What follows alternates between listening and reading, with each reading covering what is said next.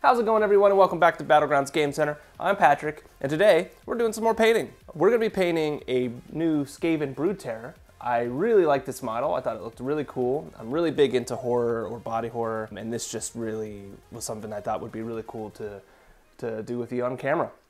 Um, since we're you know heading into spooky season, so let's do a spooky model. I um, this is my second time doing a kind of painting video, so we'll see how this goes, and hope you guys enjoyed it. And if you want to see more like it, go ahead and like and subscribe to the channel. Let me know in the comments below if this is something you want to see more of. I'll kind of just go over my process. So we primed it with uh, Beastly Brown from Vallejo, and then I did a, a with uh, Wraithbone from Citadel, so that we have like a little bit of browns in there, but then you got the highlights. So we're going to be using a lot of contrast of this so that it'll kind of poke through. But yeah, let's go ahead and get right into this because I'm really excited to paint it. All right, so the very first step we're going to be doing is um, going over all the skin and fur and stuff with some Guilliman flesh contrast. Uh, just kind of caking the model in it. And then we'll go over with some other colors after that. But just to get it started, we want to get it fully covered, all the areas we want Guilliman flesh. So since it has like grafted flesh all over the place, I might do a little bit uh, with this and then the other areas I might go over with something else.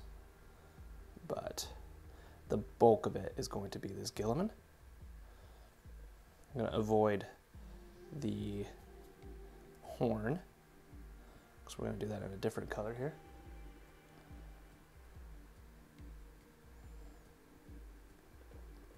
And we are going to go over the fur with like a darker brown, so it's okay if it gets covered in the Guilliman for now. Yeah, this model is pretty cool. I thought it was interesting that of all the new kits, this one was push fit, which was very interesting to me that they would do that. Um, but it went together relatively well. There was a few issues here and there. So yeah, we'll just kind of cake this all over the bulk of the, the model here. And then we have another fleshy tone we'll get in there as well once we're done with this. Next, I think I'm gonna take some Crusader skin from Army Painter, uh, some speed paints, a little bit of a different color.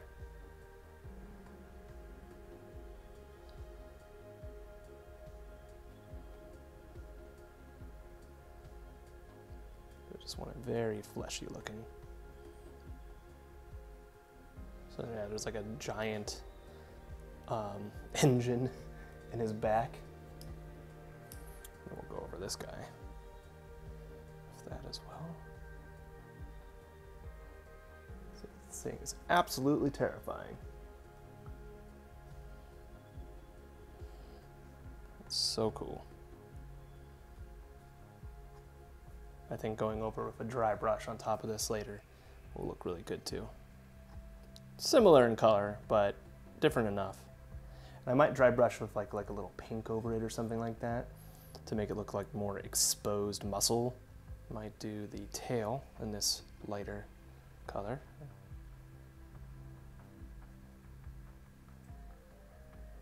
Because then we will go back over this with a little bit of like pink, I think. Like a, like a watered down pink. So next we could do the horn with some skeleton horde for that bone look.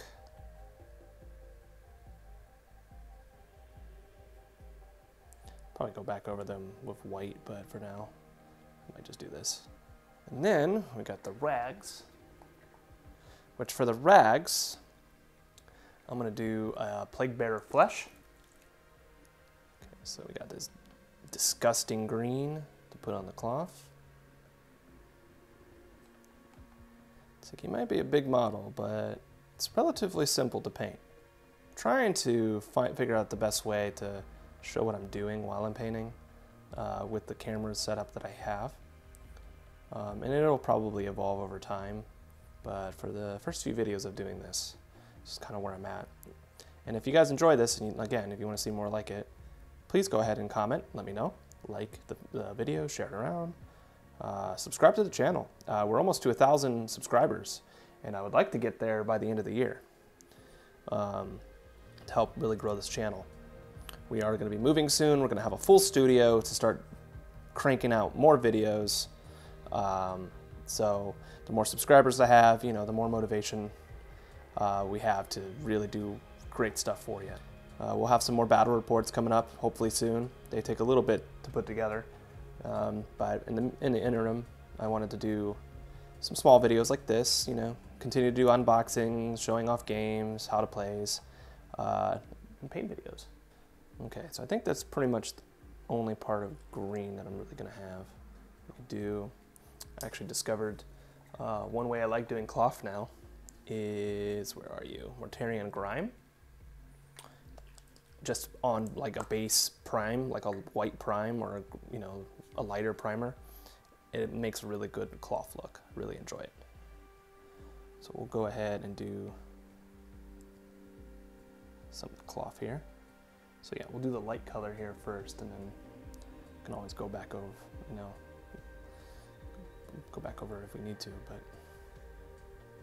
yeah, because they're like stitched piping, so it wouldn't be metallic, I don't think. So I got Basilicanum, or Basilicanum Gray. I don't even know if that's how you say that, but oh well. Some of these names are kind of insane. So gray, I'm gonna do some gray onto the pipes. So specifically the tubes, not the uh, metallic pipes. So the tubes we're gonna do this gray. There's like little staples on this too that I might go back and try to do with like Leadbelcher. We'll see. There's a lot of little detail that's not necessary, but to add like a little bit of a finishing touch wouldn't be a bad idea. Got a few more pipes, but this looks a little bit more metallic. So we'll probably go with like a brass look on that, but for like the, the tubes, the gray I think works. So we got some Leadbelcher now we can do. Some of the different parts of this model. Um, I am going to go over these with a dry brush of brass, I think, to change it up. But for now, we'll just do basic Leadbelcher on a lot of this. A lot of internal pipes here, a little hard to get. So it might be hard to see on camera what I'm doing, but I'm going to skip ahead around on this anyways. This part's a little rough to get into. All right, so we got those bits there. Got this ball here. Very cool. All right. It's a good base coat of everything. We got more to do. Um, but yeah, that's getting close to done. All right, I think at this point I can start going back and doing some of the fur over top of things. So for that, we're gonna be using Gore-Grunta Fur. Where to start here? Kind of start this. But we're just going to go over all the different areas that are fur. But yeah, helps break it up a little bit. So we got some brown fur over the body there. It kind of spreads with some of the areas, it's fine. Kind of spread it out a little bit. Kind of just wet blend some things here to uh, transitioning into the different color as much as I can. Kind of just took over the skin a little bit more, but it's okay. Because once I dry brush, that'll bring out the, the actual fur, hopefully. Some pink. Just like very watered down pink. Use this for the tail. We're gonna kind of do the same thing with the pink onto this guy. It's a little bit more fleshy. Not a whole lot, but enough to show there's some separation. Get some pink on some of the other areas. So I think from this point, uh, I just need to fix a few areas on lead with the Leadbelcher, uh, but I think we can start moving on to some dry brushing uh, once this fully dries. So yeah, let's get into that. Okay, so sorry for the camera change up. Um, after looking back at this a little bit, my right hand was covering up the model a little too much, so I swapped the cameras around, so sorry if that's a little bit jarring. But this is pretty much dry now, so we're gonna start doing some dry brushing. Uh, we're probably gonna start with the brass on the Leadbelcher here, or the copper, brass, whatever I decide to do. Rough iron. I got rough iron, I got true, true copper. Probably do true copper. Get as much off the brush as I can, but leaving a little. Okay, so then we're gonna just start going over the entirety of the Leadbelcher. Try to avoid other areas, like some of the, the skin and stuff, but the dry brushing, sometimes it just ends up getting over everything. Try to pick it out where I can. So this is a little heavy on the here. I'm okay with that because I'm kind of trying to cover up the Leadbelcher a little bit more. But just in a way that looks a little bit more natural. Kind of get some of the harder to reach areas here. So for the skin, or even the fur really, we'll do, we're going to do something a little bit lighter brown. So I got Mournfang brown here. It's always a good go-to for this. Let's get my brush nice and coated. And we're going to do this specifically on the uh, fur and stuff, so very light, just kind of brushing it over. So we got still the fleshy bits, still kind of poke out a little bit, which is good.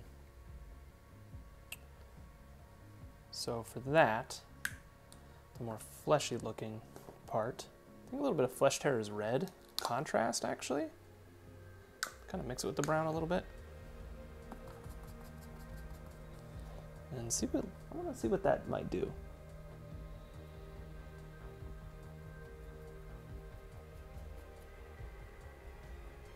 Want to put all the red. I just kind of want to do like spots to make it look a little bit more like skin. Kind of like that.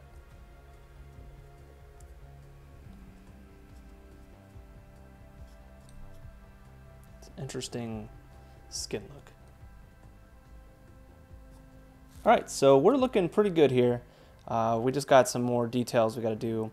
I want to add some green, some warp fire green into like the weapons and uh, some of the areas where the tubes are kind of breaking through a little bit. Um, so we'll do that. And then I also want to do some blood for the blood god on different parts of the model. And then also go over pretty much everything, or at least the metallics with Mortarion Grime.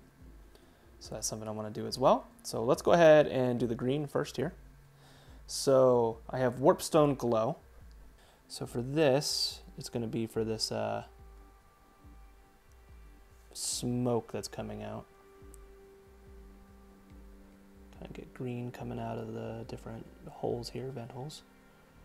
So then we also got this part here with the gun.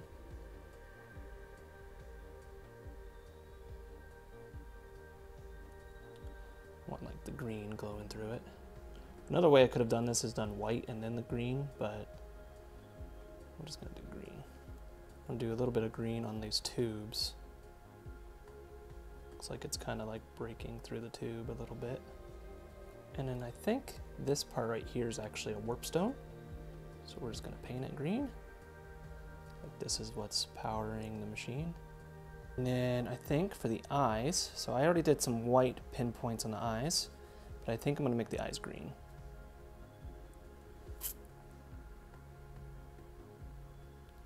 Considering he's like a, you know, he's being powered by this energy.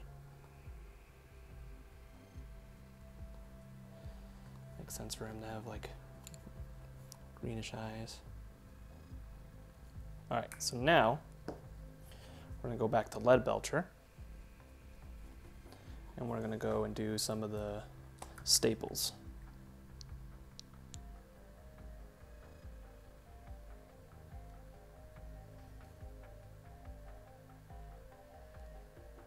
At this point, uh, we're just going to go over the metallics with Mortarion Grime. And I and then we'll do some Blood for the Blood God. And I think for the most part we'll be done. And if I get over the body and stuff too, it's totally fine. Because it's going to be grimy.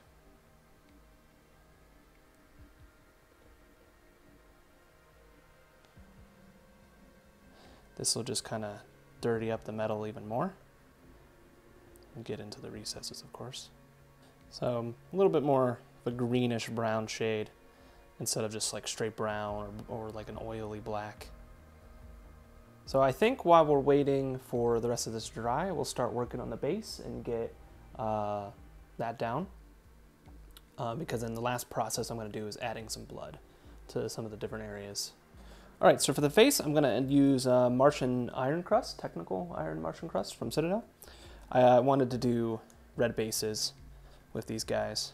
I used to just paint the bases and then do other stuff, but I've gotten lazy. And just started doing technical.